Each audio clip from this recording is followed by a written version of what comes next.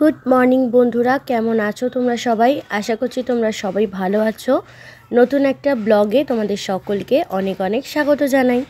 আজকে সকালটা একটু অন্যরকম আকাশে মেঘলা করে আছে আর ঝমঝমিয়ে কাল রাত্রির থেকেই অল্প ফোটা ফোটা বৃষ্টি, কখনো ঝিরিঝিরি বৃষ্টি আর রাস্তাঘাট দেখেছ পুরো ভিজে গেছে।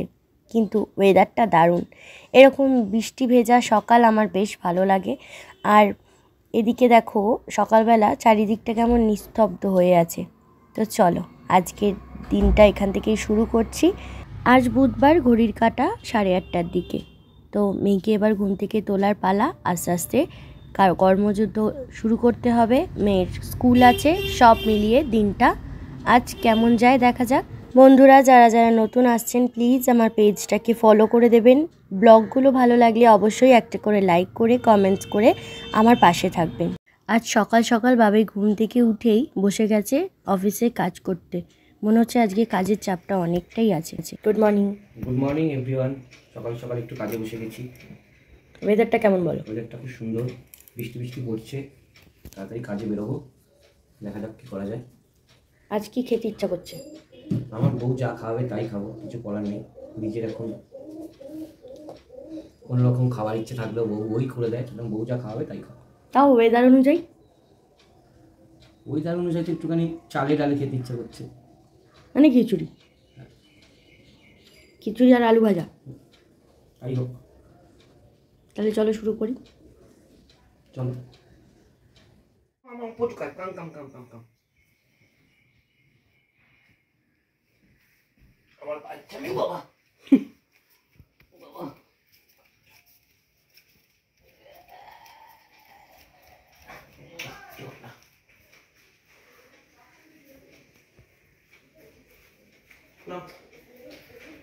ব্রাশ ফ্রাশ করে রেডি হও।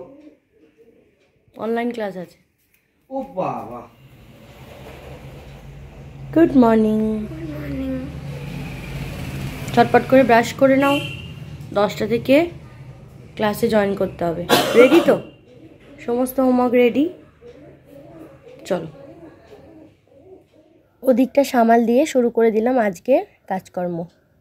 চলে এলাম রান্নাঘরে, আর আজকে ডালে চালে করব। সকাল সকাল বলে দিয়েছে, তো ঝটপট করে এবার রান্না করার পালা। আজকে মেঘলা আকাশ দেখে বিশ্বাস করুন, আজ একদম কাজকর্ম করতে ইচ্ছা করছিল না। মনে হচ্ছিল জানলার পাশে দুদণ্ড যদি বসতে পারতাম, বেশ ভালো লাগতো। কিন্তু সেটার কি আর উপায় আছে? সকাল সকাল রান্না তো করতেই হবে। নাহলে যে পেটে যখন খিদে লাগবে, তখন আর ওই বসতেও ইচ্ছা করবে না। তো ওদিকে চা, ডালটা ভাজতে ভাজতে ভাবলাম যে এদিকে যেগুলো কাটাকুটি করে রেখেছিলাম, সেগুলোতে নুন, হলুদ মাখিয়ে আস্তে আস্তে শুরু করে দিই। তাই দুটো গ্যাসই অন করে দিলাম। কোনো তরকারিপত্র করব না, জানেন? ভাজাভুজির ওপর দিয়েই আজকের দিনটা চালিয়ে দেবো। বেশ অনেক কটা পটল ফ্রিজে ছিল। তাই সব কটা পটলই একসাথে কেটে দিলাম। না হলে ফ্রিজে রাখতে রাখতেই নষ্ট হয়ে যাবে। আর মেয়ের আর মেয়ের বাবার জন্য একটু আলু ভাজতে হলো।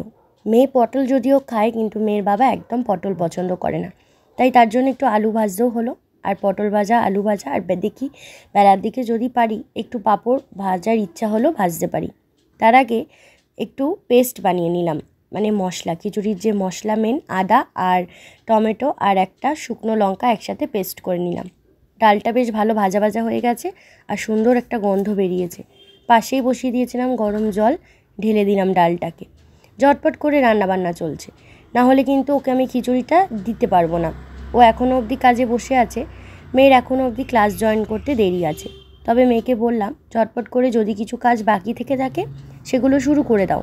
এখন মেয়েটা আস্তে আস্তে বড় হচ্ছে, তাই টুকিটাকি কাজ ওকে দিয়ে আমি একটু করাই। একটু একটু না শেখালে বড় হয়ে একদম করতে চাইবে না সে কাজগুলো।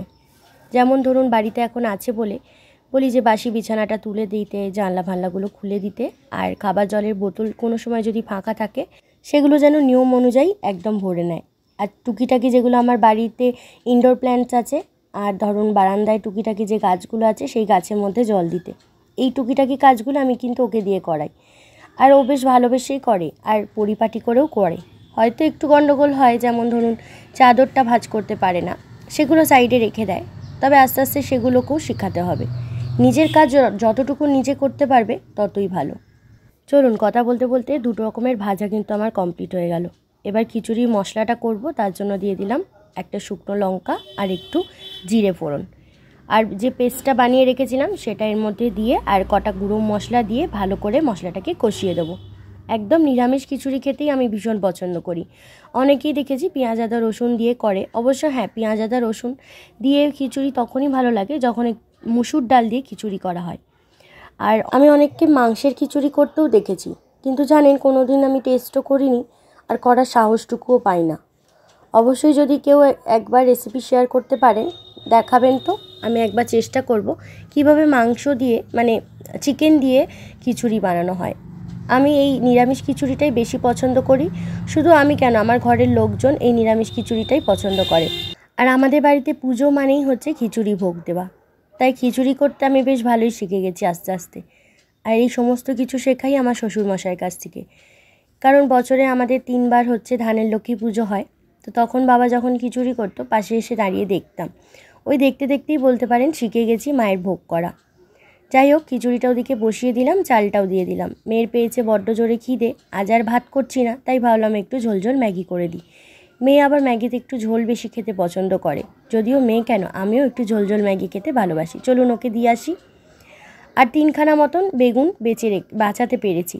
মানে একটা বেগুনে এতটাই পোকা ছিল, বাদবাকি আর পিসগুলো কাটা যায়নি। এই তিন পিসই ভালো বেরিয়েছে, তবে বাবাই বলল, আমি বেগুনি খাব না। কারণ ওর একটু বেগুন মাঝে মধ্যে খেলে জিভ চুলকায়। তাই বেগুন ভাজা বা বেগুনি খেতে খুব একটা পছন্দও করে না। তাই তিনজনের মতন আমি বেগুন কেটে নিলাম আর চিনি মাখিয়ে রেখে দিলাম, তাতে তেল কম টানে, জানেন? বেগুনি বানানোর জন্য বেসনের ব্যাটারটা রেডি করে রাখছি। একটু কালো জিরে দিলাম, আর একটু হলুদ গুঁড়ো, একটু লঙ্কার গুঁড়ো, ঝাল ঝাল যাতে লাগে, আর একটু নুন দিয়ে ভালো করে আগে মাখিয়ে নেব। তারপর জল দিয়ে ব্যাটারটাকে বানিয়ে নেব। এখন একদমই বেগুনিটা করব না, কিন্তু সমস্ত কিছু রেডি করে একটা সাইডে রেখে গ্যাস ট্যাসগুলো মুছে নেব। ঠিক যখন বেলার দিকে খাব, তার দু তিন মিনিট আগে ভেজে নেব। তাতে মুচমুচে গরম গরম খেতেও ভালো লাগবে।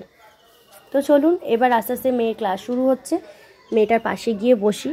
পাশে না বসলে না ভালোভাবে করতে পারে না, ভালোভাবে বুঝতে পারে না। অনলাইন ক্লাস হলে যা হয়, বোঝেনি তো। আমার মনে হচ্ছে ব্যাটারটা একটু বেশি গোলা হয়ে গেছে।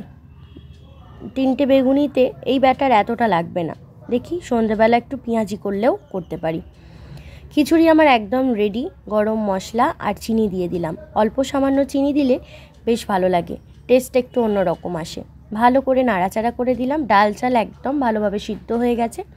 আর একটু জল জল করেছি, নাহলে সেই কোন বেলায় খাব আর তখন টাইট হয়ে যাবে। আর টাইট খিচুড়ি খেতে একদম আমার ভালো লাগে না। তাই একটু জল জল করেছি এটাই কেমন দেখবেন যখন খাব বসে যাবে।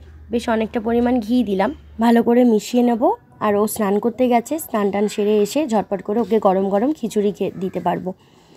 একদিকে ভালো জানেন গরম গরম খিচুড়ি খেলে আর কিচ্ছু লাগে না। না কোনো ভাজা লাগে, না কোনো ভুজি লাগে। কিন্তু বেলায় যখন আমরা খাব, তখন এই খিচুড়িটার কতটা টেস্ট পাবো বলতে পারছি না। আর এখন একগাল যদি খিচুড়ি খাই, পেটটা ভার হয়ে যাবে।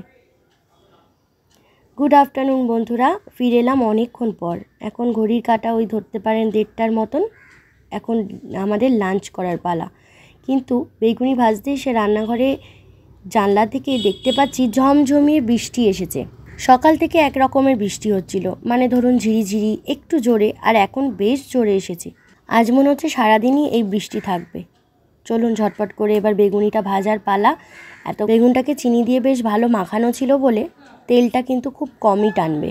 একটার পর একটা বেগুনি ভাজবো। কিন্তু কড়াইটা আজকে আবার ছোট নিয়েছি। তেলের পরিমাণ বেশি থাকলেও বেগুনিটার সাইজটা যেহেতু বেগুনের বড়, তাই একটা করেই ভাজা যাবে। তো মোটামুটি একটু ফুলছে, আর একটু বড় জায়গা হলে ভালো হতো। যাককে আর কি করা যাবে বলুন? প্রায় সাড়ে বারোটা অবধি একটা না মেয়ের সাথে বসেছিলাম। তারপর উঠে কিছু কাঁচা ছিল, সেগুলো করলাম ঘর দোরগুলো মুছে পরিষ্কার টরিষ্কার করার পর জানলাগুলোকে আগে দিলাম। যা জোর বৃষ্টি এসেছে জামা কাপড়গুলো তো কাচলাম, কিন্তু সেটা কি আদৌ শোকাবে? কে জানে? বসন্তকাল না বর্ষাকাল, নিজেই গুলিয়ে ফেলছি। বোঝাই যাচ্ছে না যে সামনে দোল আসছে। যাকে আপনাদের দোলের কতটুকু প্রিপারেশন রেডি হয়েছে সেটা জানাবেন। আমার এখনও অবধি কিছু ভাবা হয়নি। কারণ দোল খেলতে ভালো লাগে, খুবই পছন্দ করি। কিন্তু তারপর সেই কেমিক্যাল মেশানো রং গায়ে পড়লে ওই র্যাশের ঝামেলা বা সর্দি কাশি লেগে এক কাণ্ড হয়ে যায়। তো দেখতে দেখতে মেয়ের রেজাল্টেরও সময় চলে এলো। ওই সাতাশ তারিখে রেজাল্ট বেরোবে। চলুন এবার খাবার পালা।